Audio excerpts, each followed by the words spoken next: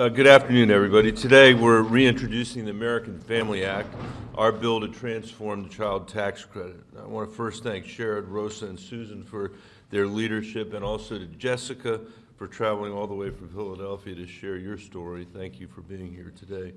In every part of my state of Colorado, urban and rural, Republicans, Democrats, and independents, I hear the same thing. People are working full-time, even overtime, and they're struggling to raise a family and enjoy a middle-class life. Because we've had over 40 years when 90% of Americans haven't had a real pay raise, even as the cost of health care, child care, housing, and higher education have continued to escalate every year. The American Family Act is a big part of how we respond to that problem, which I see as one of the central economic challenges of our time. It also responds to one of the great moral challenges of our time, which is that we have 10 million American kids living in poverty in this country. Let me explain briefly how the bill works. Because of the way Washington designed the existing child credit, 27 million kids don't have the benefit of the full $2,000 amount. Our bill puts an end to that. It significantly increases the child tax credit and for the first time makes it fully refundable. That means that all those kids and families that have never enjoyed the benefits, the full benefit of the tax credit finally will. For a family of four earning $60,000 a year, our bill would mean another $3,200 in their paychecks each and every year. On top of that, our bill would cut child poverty in the United States by nearly 40 percent.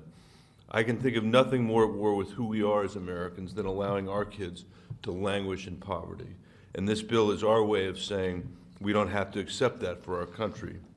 Last week, a report from the National Academy of Sciences found that child poverty costs our country between 800 billion and 1.1 trillion dollars every year.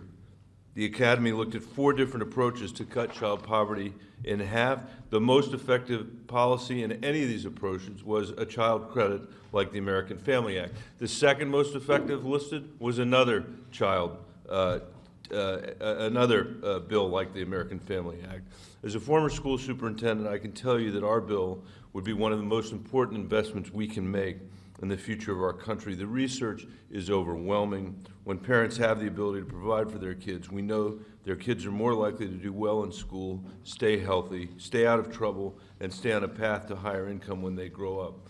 On top of that, while this is, on, on top of all of that, this is not a massive new federal program.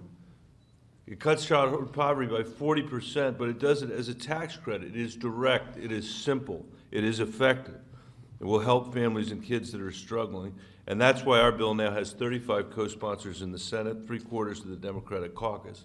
Uh, my hope is that this strong show of support will move us closer to signing the American Family Act into law because for the families we represent, that day can't come soon enough. Now let me turn this over to my pal Sherrod Brown, who's been uh, with this bill from the very beginning. Thanks, Sherrod. Michael, thanks. And um, Ms. Morse, thank you so much for being here. You can stand up here with us if you would like to. So, thank you. Thanks so much for joining us. Uh, and to the to the Harrises and to Ellen, thanks for being the warriors on on this issue and all combat poverty and and, and just making so many lives better. Thank you for that.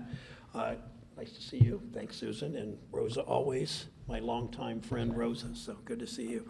Uh, we start with this. We throw out the Trump tax law, the Trump tax law that's always tilted towards the rich, the Trump tax law that doesn't encourage work, the Trump tax law that doesn't uh, at all alleviate poverty in any way and continues the dollars in this country and in the tax system going to the top.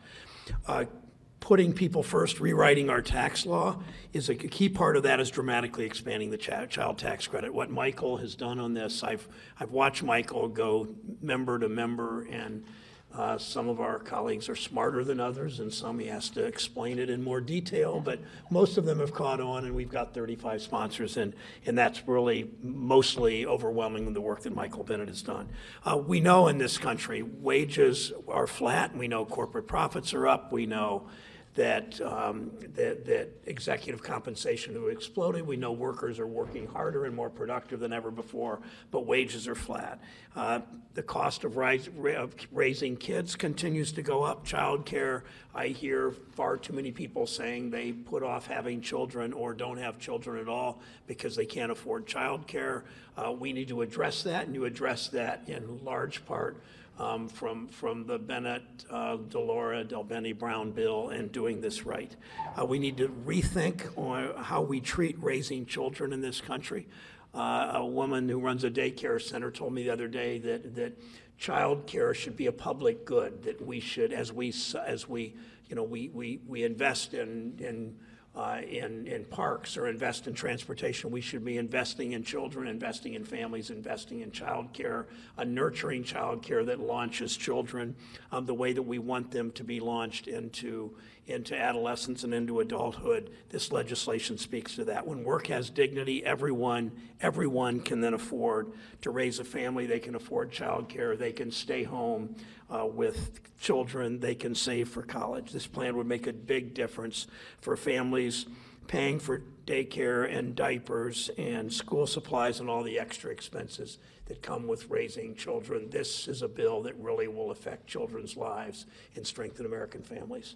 Congresswoman DeLauro, you're next. Thank you. Thank you so much, so much, uh, Congress, uh, Senator Brown. My God, we shared uh, the uh, uh, being Congress people together many, many, for many, many years. But you know, gotten so fancy. oh my God, you know, really, you know. Well, that's what happens when you cross over to the Senate side, you know. Anyway, no. Uh, but so pleased. It's a glorious day. It really is, I, and in so, so many ways.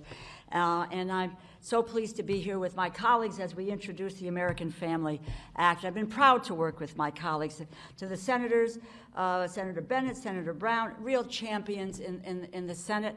Um, Sherrod and I have been fighting to ensure that labor protections are out there and, and, and enforcement of labor standards are part of our trade agreements. Um, and Senator Bennet is a member of the Finance Committee, uh, someone who is supporting proposals that uh, uh, uh, elevate the economic well-being of working families, including an investment tax credit for clean energy and a tax credit for family caregivers.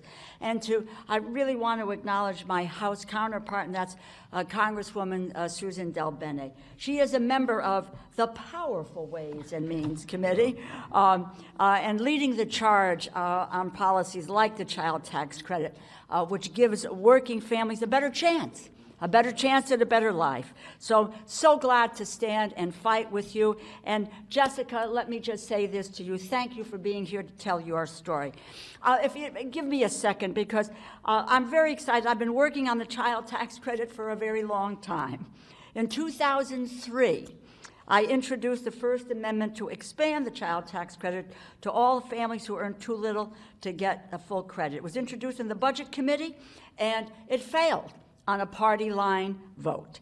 Uh, but I and my colleagues have remained, uh, you know, I've been a leading proponent of expanding the child tax credit, battled successfully to expand it at every opportunity when there's been a tax bill or tax extender. So we've been able to raise the amount.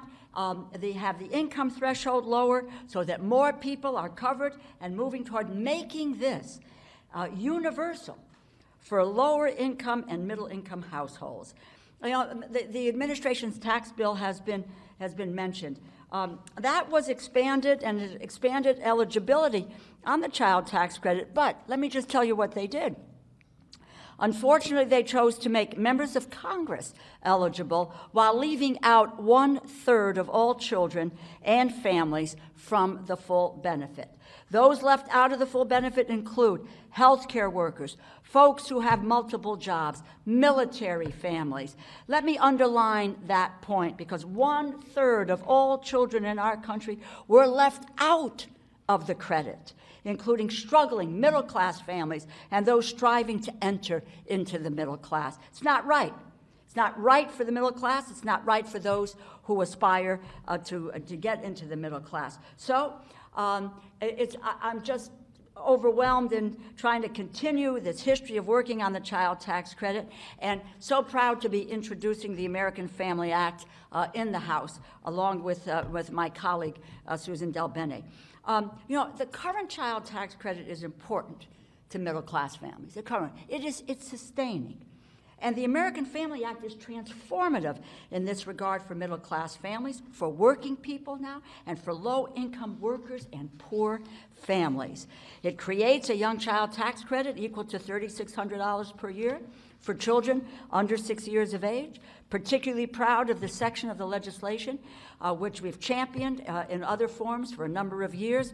We have study after study. You know, look, I, I, I watch my grandkids the five of them. You, you, know, the first few years are essential to long term outcomes for kids. But for our kids to be able to thrive, we have to support them.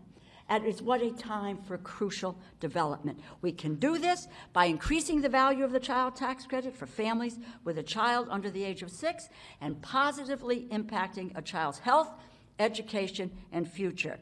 The legislation makes that young child tax credit, as well as the entire child tax credit, fully refundable, indexed to inflation, and linked and not linked to income. So, in this way, we assure that we are making the assistance available to those who earn too little to get the full credit. Um, this is an anomaly in the current law that one third of children are not eligible for the full benefit because their parents earn too little. And we fix that in this legislation. So, making the credits fully refundable could be monumental. According to Columbia University Center on Poverty and Social Policy, it would cut child poverty nearly 38%, deep child poverty in half.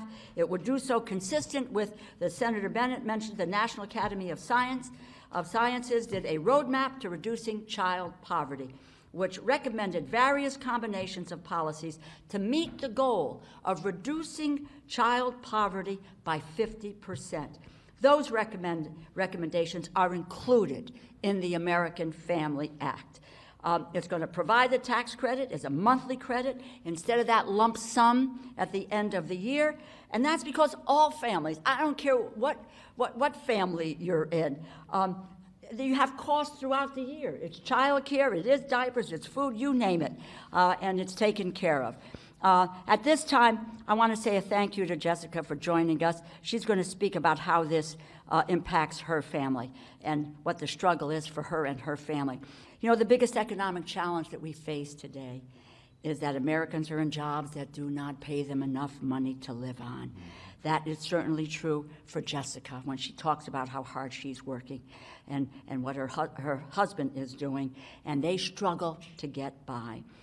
You know, uh, I mean, I'm going to conclude with this. The child tax credit is a principal vehicle in Western democracies for having healthy children and for equalizing opportunity. In the United States, it is a vehicle, vehicle for raising millions of children and families out of poverty. It was conceived and supported on a bipartisan basis. Republicans introduced the child tax credit in 1994. It became law under a Democratic president, President Bill Clinton. And today, two Republicans are figuring out how to support a child tax credit in some form. So it's evident that both parties understand that we must help working families afford the expenses related to raising children. That said, my Republican colleagues spent $1.5 trillion of taxpayer money to gift the richest corporations and individuals a tax cut. But you know, creating a strong middle class, ending childhood poverty should be our priority, not increasing the wealth of 1%. So, looking forward to working with my House colleagues, Senate colleagues to pass the bill. Democrats, Republicans, you all have what, 35? Yeah. 35? 173 in the House. So this is great. So far. So far, by the end of the day, we'll have 175. We're going to, it's going in at, at noon. So it's time. We need to expand. We need to strengthen the child tax credit. The American Family Act is about doing that. And my thanks as well to people in this room who have helped to make this a reality. And I point to uh, Bill and David Harris. Thank you for all that you've done on this issue. Thank you. and my colleague, Suzan DelBene. Thank you, Rosa. Um, And I want to thank the senators for their incredible work on, on this issue and their leadership. Um, But especially, I want to thank my colleague, Rosa DeLauro, because she has been, you noticed just her standing up here, tireless in her advocacy on this for years and supporting families across our country. Um, It's been her commitment, and we've seen that in this piece of legislation too, to continue to move forward.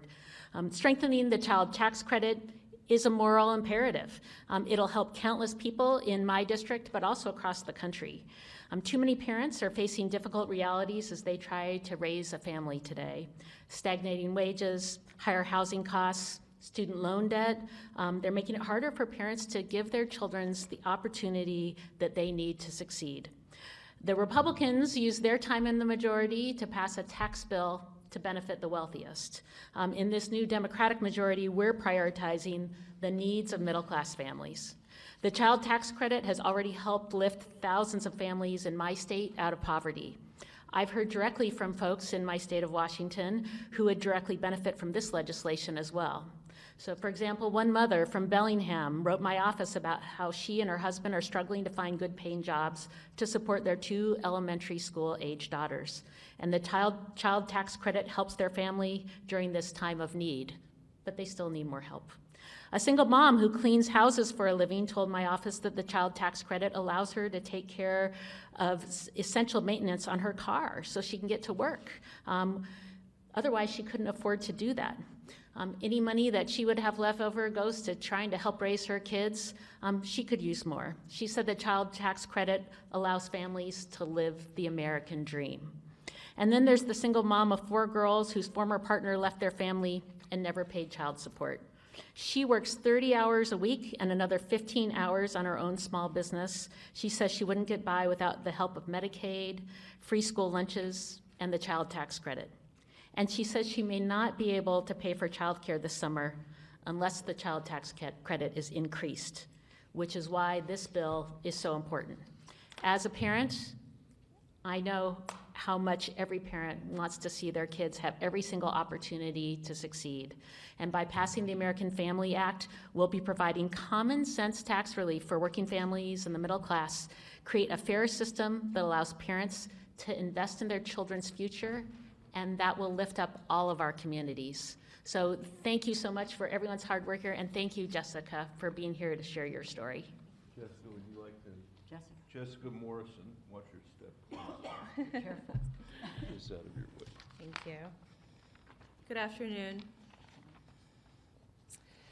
My name is Jessica Morrison, and I live just outside of Philadelphia, Pennsylvania.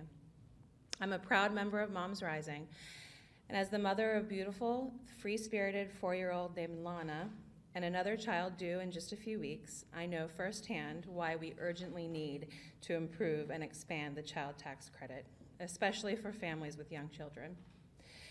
I'm here today to share my story and urge Congress and the American to pass the American Family Act, which would help many working families just like mine. Any parent will tell you that raising a ch- children in this country today is expensive. My partner and I both work full time, but our wages aren't high and money is tight. With each paycheck, we have to ask tough questions about how we will cover everything that we need. Will we be able to cover educational materials or play groups to give our daughter the tools that she needs to succeed?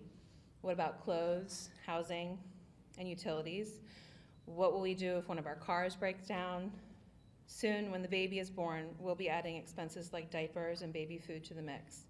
It's an incredibly stressful position to be in. There are many months when, despite our best efforts, we end up putting some expenses on our credit card just to keep our family afloat. The tax credits we receive help, but unfortunately, the child tax credit has not kept up with inflation and the rising cost of living. What's more is it doesn't account for the specific needs that we have as a family that will soon have two children under six years old. The American Family Act would make a big difference for us by fixing these gaps. By raising the maximum credit, indexing for inflation, and creating a new credit for children under six, it would ease a lot of our day to day stress by helping us handle the expenses that come with having young children. For example, one expense we really struggle with is childcare. My daughter is not old enough for school yet, but we can't afford the unbelievably expensive childcare options in our area. Still, we need two incomes to make ends meet. My partner worked in jewelry for 10 years, but currently works driving for Uber and Lyft, so he can spend four days a week at home with our daughter while driving nights and weekends. His schedule is grueling, to say the least. Then one day a week on Fridays, I make a very long drive to bring our daughter to her grandmother's house so that my husband or so that my partner can take care of other things that he needs to do. The whole situation is very stressful and especially challenging with a second child on the way. Our income is reduced because my partner needs to stay at home 4 days a week. And because someone has to be home with Lana, we have to work around each other and don't get a lot of time together as a family. It's exhausting. Still, it's the only way that we can make ends meet. If Congress passes the American Family Act, our lives would improve.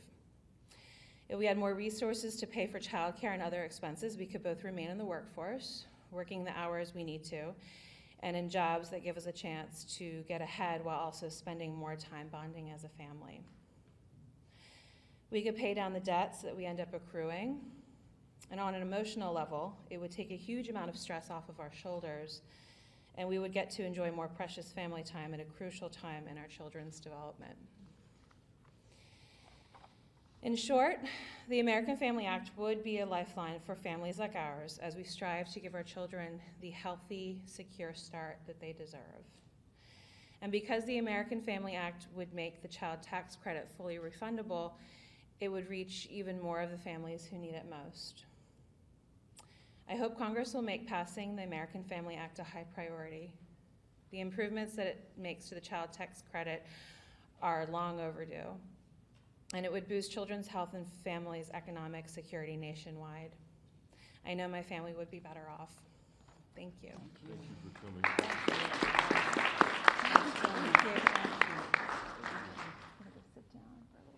Um, Oh, sorry. Are there any questions for my colleagues? Yes. I've got uh, two questions. One is quick. Do you have to have uh, work income in order to receive benefit from the uh, American Family Act? No, everybody, everybody is eligible because it's the children that are the beneficiaries of it. So the, the legislation would create a child benefit or a child allowance like they have in every other advanced country. Why are you describing it as a tax credit instead of saying this is something that provides a monthly benefit to everyone with children? I think you could describe it either way. Is there another question? We look at children over six and under six. Yes. Right. And, um, What, what real prospects does the bill have in this Congress, and have you talked to Republicans? Would you like to? You know, I, last I looked, we have the majority in the House of Representatives. Uh, So in that case, I think we, uh, um, we will be able to pass it in the House. We now have over, over 170 uh, members uh, who are on, on the, on the bill for all regions of the country. The Ways and Means Committee, and Suzan can speak to that, is ready and prepared to go uh, supporting the effort. We are reaching out to our Republican colleagues, and obviously, we encourage them.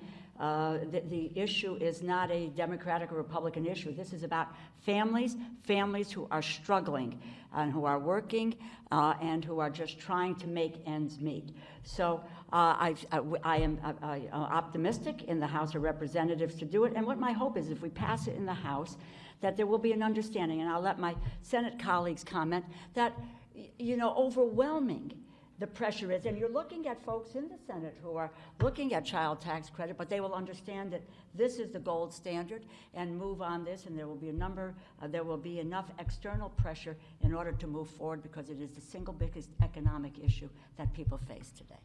Sure. When the House, yeah, thank you, Rosa. When the House passes this with an overwhelming margin, um, it puts pressure on the Senate, and I think Mitch McConnell will see that, that, um, he, he will hear from people, his members will hear from people all over the country about how much this means to their families. And, uh, we don't put the emphasis on children in this society. This, um, will help to build the momentum, I think, in this Senate to respond once the House has done it overwhelmingly. One one of the failings of this Congress has been that it has done nothing to address the, the issues that all of us raised up here and hear from our constituents every single day. It- It's almost become an article of faith around here among some people that this present set of conditions, which do not allow poor and middle-class families to be able to do the basic things that people in the middle class should be able to do, that that somehow is an, is an, is an, is an an adequate state of affairs, and it's not.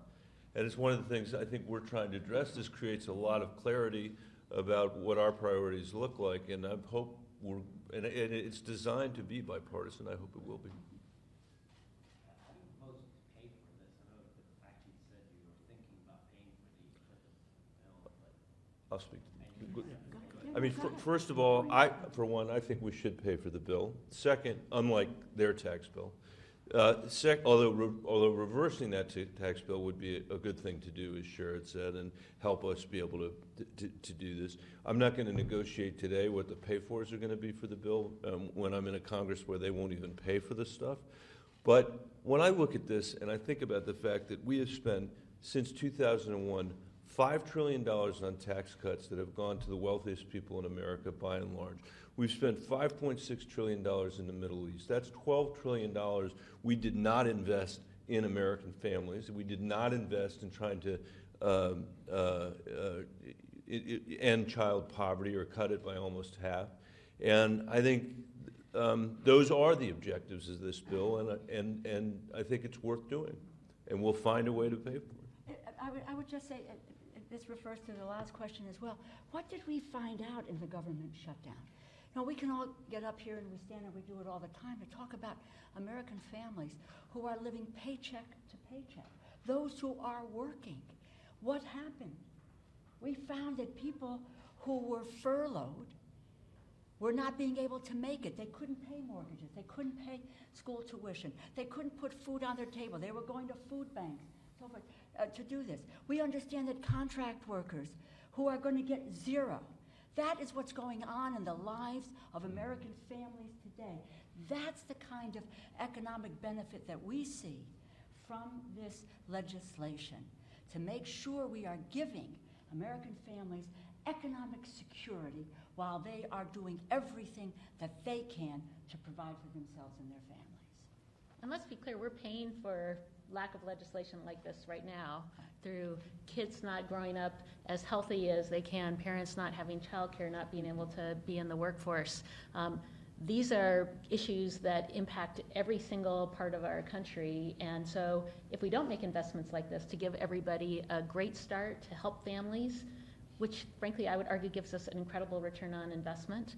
Um, if we don't do that, we're going to pay for it in other ways. And part of that will be a diminishing quality of life for a lot of people and making it harder and harder for families like Jessica's.